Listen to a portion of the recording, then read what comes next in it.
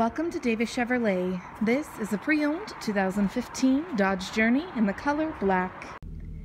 Some features include power locks, power windows, power mirrors.